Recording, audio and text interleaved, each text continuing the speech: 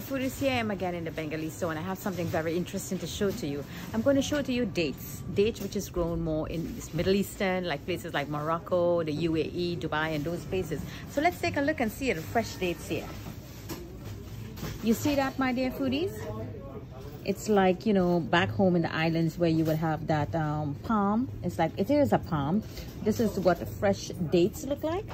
See, it's all loose and nice. And you just give it a little peel. I do not know how you really consume the fresh dates, but we could Google that up and I could let you know. And here is the loose dates.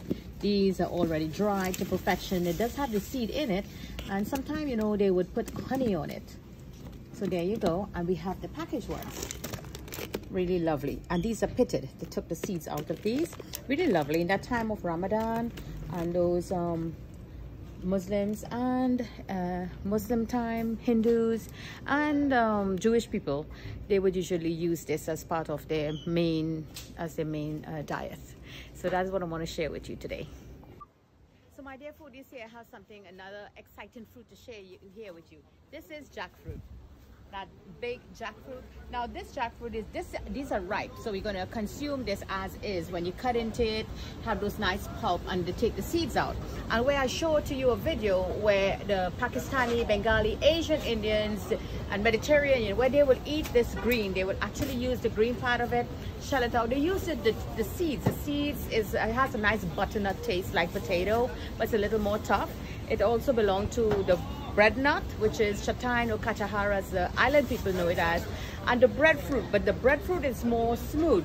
But so this is a, a bigger one, which is the same family, and this is more spiky, like the katahar or the chataigne as we all know it. So it can be eaten green as a curry, or it can be eaten as a fruit when it's ripe. So you see my dear foodies, as I zoom into it, you can see the prickle on it, whereas the bread fruit is smooth but has the same type of cell type look. So this is the jackfruit and uh, oh it's 129 a pound. So you know this guy is like 30 pounds. So foodie here I have something very interesting again. You know I'm always shopping around and bringing all these great fruits and vegetables for you. This is a Bengali cucumber you see this this this Kirby as we all know this Kirby. So this is their Kirby. It's a cucumber.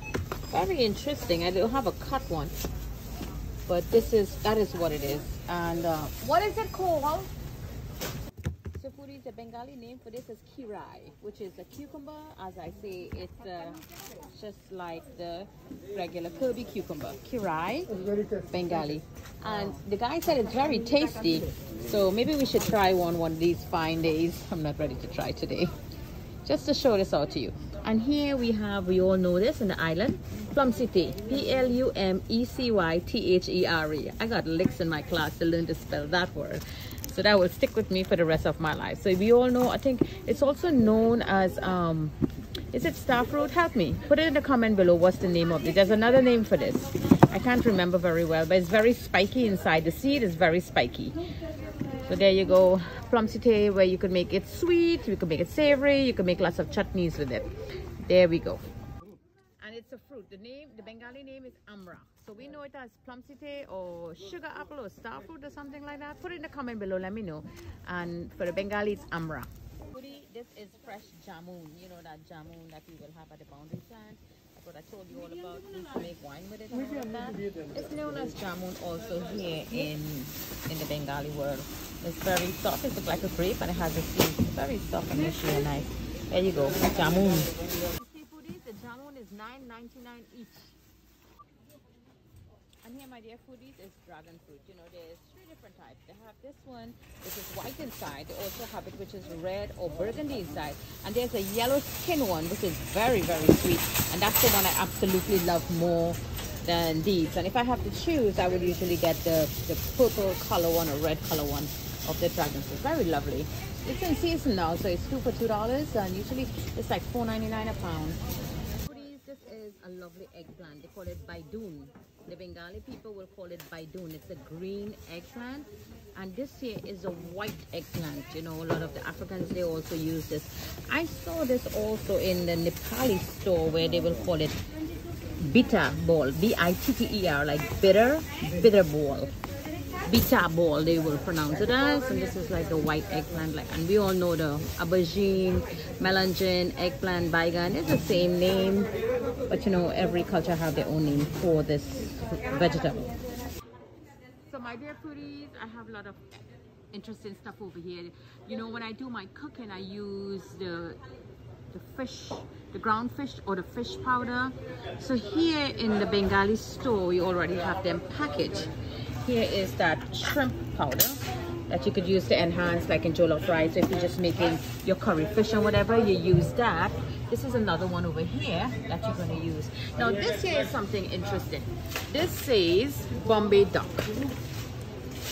Bombay duck with chilies, but it is not a duck. What it really is, it is this fish over here. This is the fish that is Bombay duck that is in this package over here with chilies and stuff to enhance your your cooking. It can also be used by itself. This over here, this one here, it's another Bengali one. And this is the shrimp that is used, one of the ingredients in here. This is a multi-pack. It has several different ones in here in the package. As you can see through here, they have a shrimp there, there's another little fish there, and some other one in there. So this is one of the ingredients for this over here. And this one, my dear foodies, anchovies with chili. So we all know how salty anchovies is. So this is the dry anchovies over here and that is what we have in here so this is used also to enhance your foods your rice your beans any one of your peas and whatever you can use the packaged one or you could just use the dry anchovies. You also use anchovies in pizza. So this will be the better one to use in your pizza. Lovely shopping here at the bengali store. And as we move along here we have some other fish that they use. This is a bigger size one over here. There's another tiny one. And these things, they usually make it up together with your vegetables too.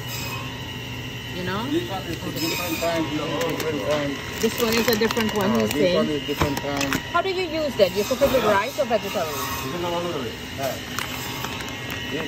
With vegetables, you it, cook depends it? on, it depends on you. Oh, yeah, you can go with the vegetable, you can go only that on mob. Oh, so the proprietor is saying it all depends on you what you're is. You could mix it with your food. This is another fish over here, very thin and salted.